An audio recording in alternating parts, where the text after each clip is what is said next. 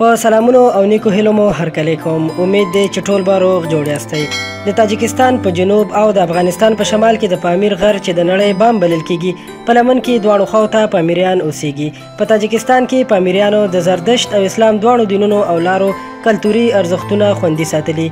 په دې اړه د مشال رادیو د روسي ژبې ټلویزیون سره مرکه کړې چې تاسو سره دلته راپور شریکوم دا خلک وایي چې دوی د سکندر اعظم اولاد دي دوی خپل ژبه او کلتور خوندي ساتلی خو زر کاله مخکې اسلام هم قبول کړي د پامیریانو یو هنرمند مشال رادیو ته وویل په یولسمه صدۍ کې د ایران شاعر ساینسپو ناصر خسرا دلته اسلام راورساو اوس دلته اسلام مذهب چې زر کاله او زردشت مذهب چې له دریو تر څلورو زرو کالو زوړ دی د دواړو ترمنځ هیڅ ټکر نشته دوی اسلام راوړ خو موږ خپل رسمونه هم برقرار ساتلي دي په دې روایتي کورونو کې یو شمیر کورنۍ ژوند کوي دوی وایي چې زموږ مشرانو به همداسې کورونه جوړول او ټوله کورنۍ به د یو چت لاندې اوسېدله تر دې چې په ژمي کې به راسره ګړې او بیزې هم وي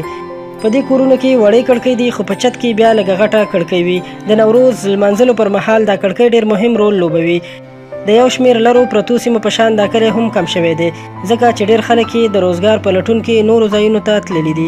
له دې پامیر سیمې څخه ډېر خلک نورو هیوادونو ته تللي دي او هلته روزګارونه کوي چې زیاتره یې روس کې دي